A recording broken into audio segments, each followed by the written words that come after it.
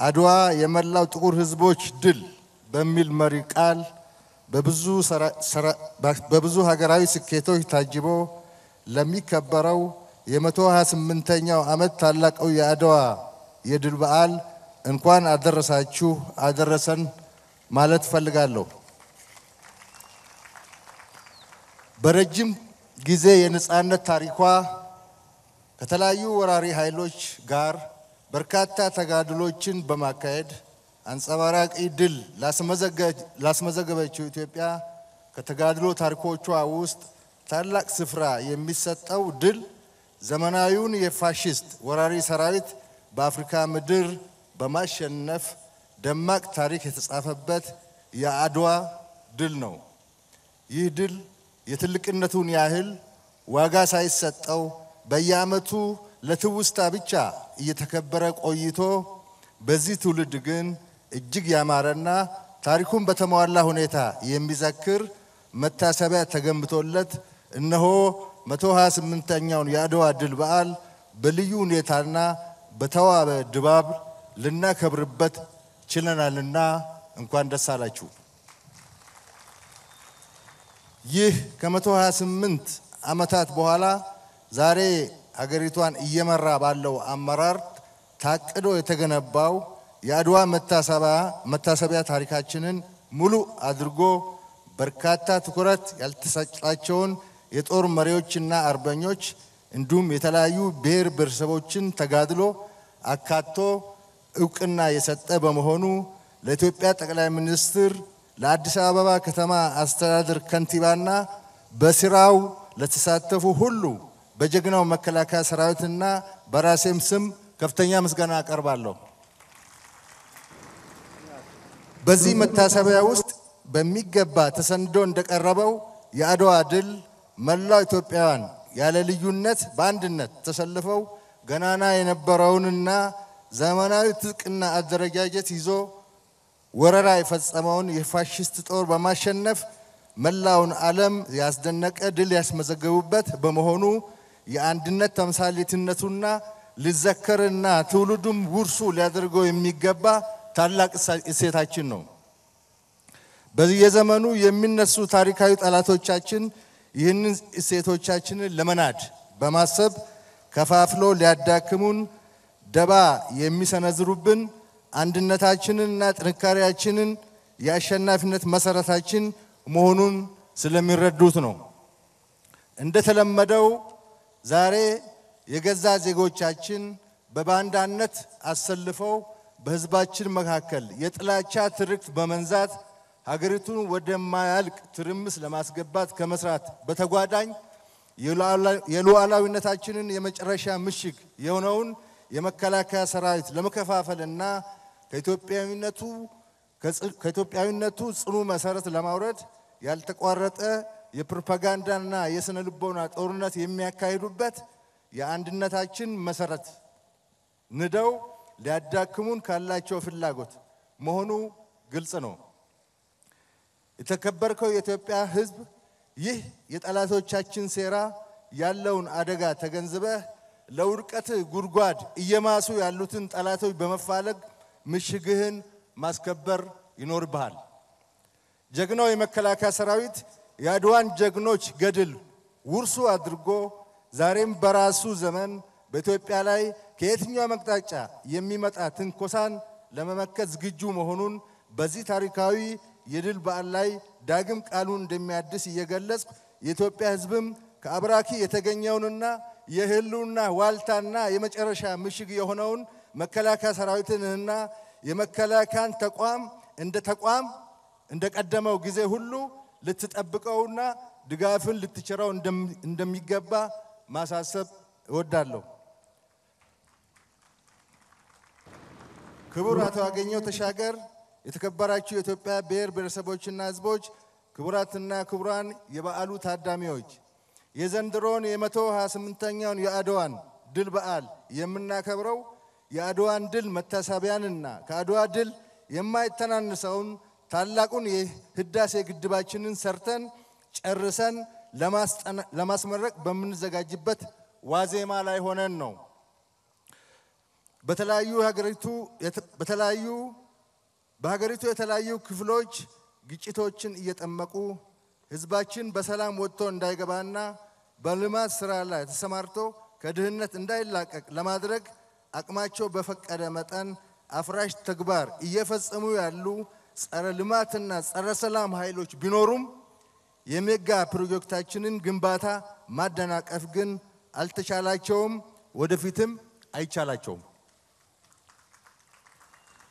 የዚህ ምክንያቱ ደግሞ መከላከያ ሰራዊታችንና የጸጥታ ኃይሎቻችን የሀገር እድገት እውን እንዳይሆንና የህዝቡ ሰላማዊ ህይወት እንዲበጠበጥ ለማድረግ ከታሪካዊ ባንዳዎች ተልዕኮ የተቀበሉ የአገር ዜጋ ባንዳዎች የቃጡብንን ሰላማችንን የማደፍረስ ተግባር ማምከን በመቻላችን ነው።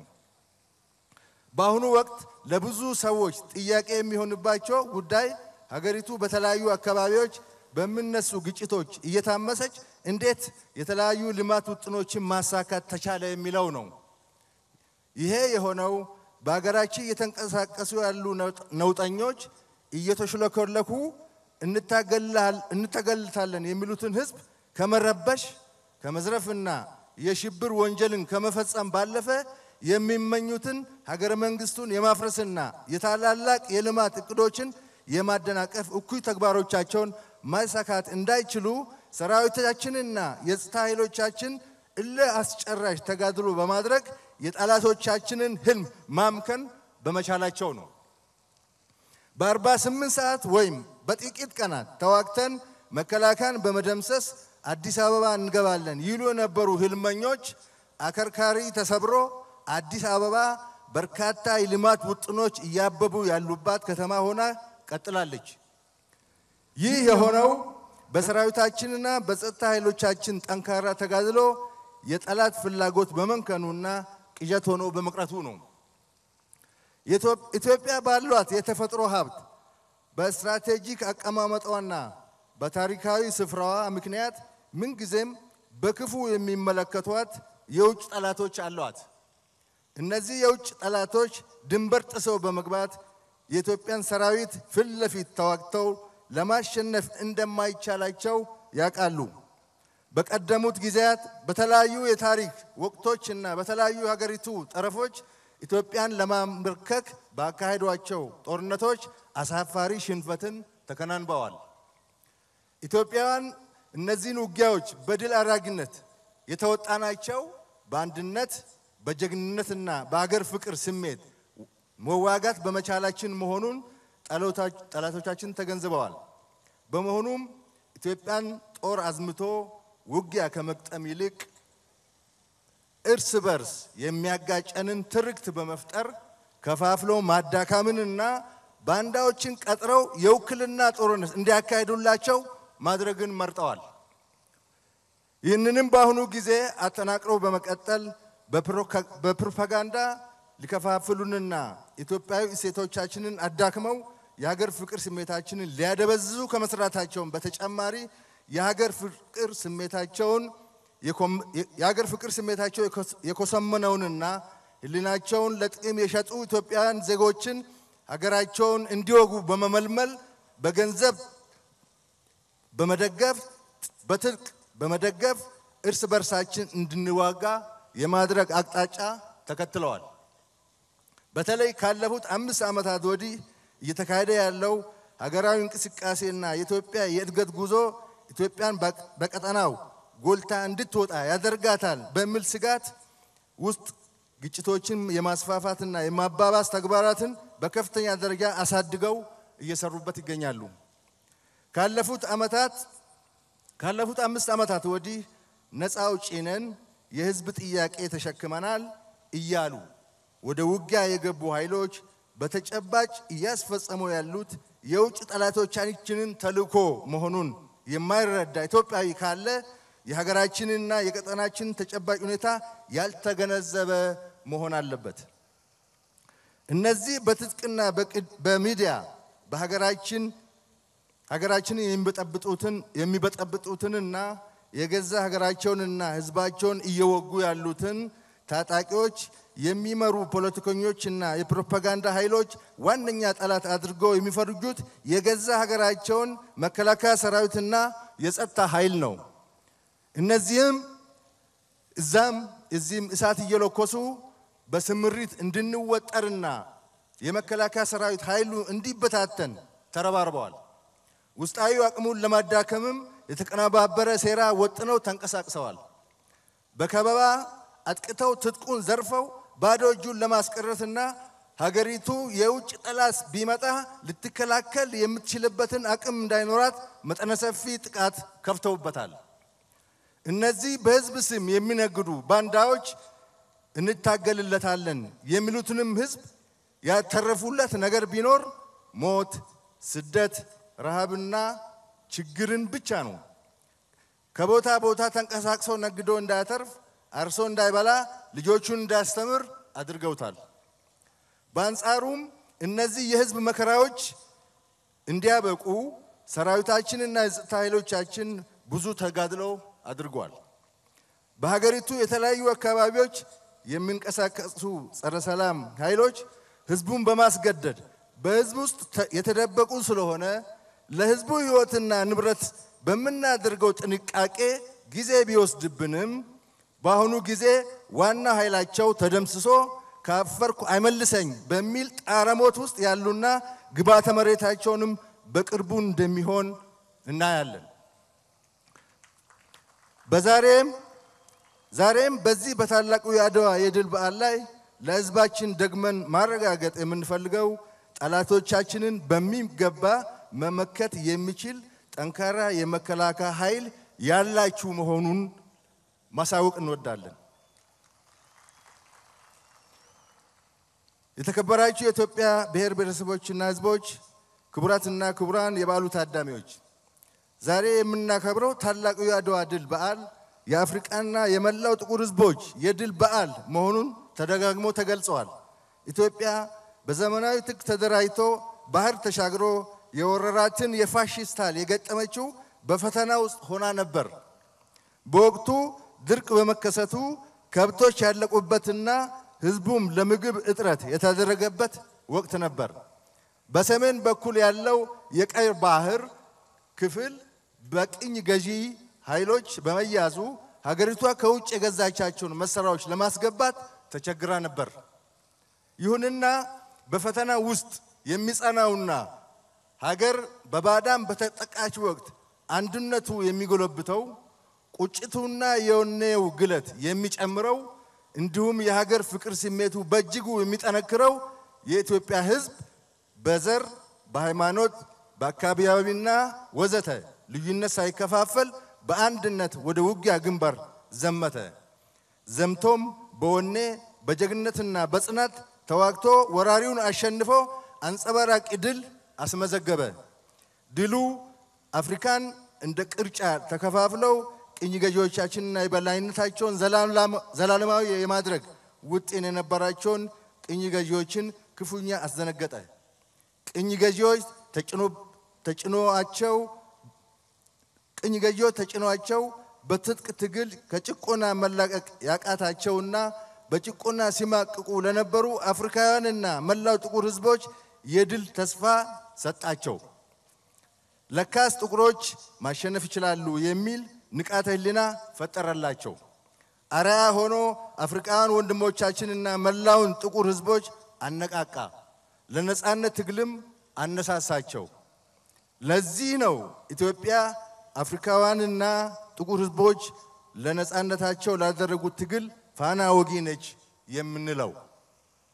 ዛሬም የኢትዮጵያ ዛሬም ኢትዮጵያ ለአፍሪካ ሕዝቦች አንድ መሆንና ለፓን አፍሪካኒዝም ዓላማ ስኬት የመሪነት ሚናዋን ትወጣለች። የኢትዮጵያ መከላከያ ሰራዊት በከፈለው መስዋዕትነትና ባደረገው ተጋድሎ ከራሱ አልፎ የጎረቤት ሀገራትን ሀገረ መንግስት አጽንቷል። ጎረቤትና ወንድም ለሆነው የሶማሊያ ህዝብና መንግስት ሰላም መከበር ስንል ያደረግነው ተጋድሎና የከፈልነው መስዋዕትነት ከኛ ይልቅ ራሱ የመላው የሶማሊያ የግዛቶች የሶማሊያ ህዝብና የሶማሊያ ግዛቶች ህዝብ ይመሰክራል። ኢትዮጵያ በሰላም መንገድ እያደረገች ያለችው የባህር በር የማግኘት ትግል ሲሰምር ደግሞ ሰራዊቷ ለቀጠናዋና አካባቢዋ ሰላም የሚጫወተው አዎንታ ሚና ከፍ ያለ ይሆናል። የኢትዮጵያ መንግስትና ሕዝብ የባህር በር ለማግኘት የሚያደርገዋቸው ጥረቶች ጨምሮ የሀገሪቱን ብሔራዊ ጥቅም ለማስከበር የሚያካሂዱትን ጥረት ሰራዊታችን ይደግፋል። ለስኬታማነቱም የሚጠበቅበትን ሁሉ ለመወጣት ዝግጁ መሆኑን ያረጋግጣል። እስካሁንም ጠላቶቻችን አገራችንን የማፍረስና ከእድገት ጉዟችን የመግታት ሙከራ እያደረጉ እኛ በርካታ የልማት ውጥኖቻችንን አሳክተናል። ታላቁን የህዳሴ ግድብ ግንባታ ወደ መጨረሻ ምዕራፍ እንዲደርስ አስችሎናል። ታላላቅ የቱሪዝም መስህቦች ተገንብተዋል። በመዲናችን አዲስ አበባ አስደማሚውን የአድዋ መታሰቢያን ጨምሮ በርካታ ግንባታዎች ተካሂደዋል። በተለያዩ የሀገራችን ክልሎች በምግብ ሰብል ራሳችን እንድንችል የተሰሩ ስራዎች፣ ስኬታማ ስራዎች እውን ሆነዋል። እኛ መንግስትን የምንደግፈው እንደዚህ አይነት ስራ ላይ ስለተሰማራና የመንግስት መቀያየር በምርጫ በስርዓት በህግ እንጂ ከዚህ ውጪ በዘለለ በሚከናወን ጋጠወጥ እንቅስቃሴ እንዳልሆነ ስለምናምን ነው። ይህ ሁሉ የሚያሳየው ጠላቶቻችን የሚመኙትን እንዳያሳኩ ተከላከለንና አቅም እንዳይኖራቸው አድርገን መንግስታችንና ህዝባችን የወጠኑትን የልማት እቅድ በስኬት እንዲከናወኑ ያሳልን መሆኑን ነው። ይሄ በቀጣይም ተጠናክሮ ይቀጥላል። እኛ የመከላከያ ሰራዊት አመራሮችና መላ አባላት አስተማማኝ የልማት ኃይል፣ የብሔራዊ ጥቅም ማስከበሪያ ጋሻና የሀገር መከታ መሆን የሚያስችለንን አቅማችንን ባልተቋረጠ ሁኔታ ወደ ላቀ ደረጃ እያሸጋገርን ዛሬም የአድዋ ጀግኖች ልጆች መሆናችንን በተግባር እያስመሰክርን እንቀጥላለን። አድዋ የመላው ጥቁር ህዝቦች ድል ቀን ነው። ኢትዮጵያ ምንጊዜም አሸናፊ ነች። አመሰግናለሁ።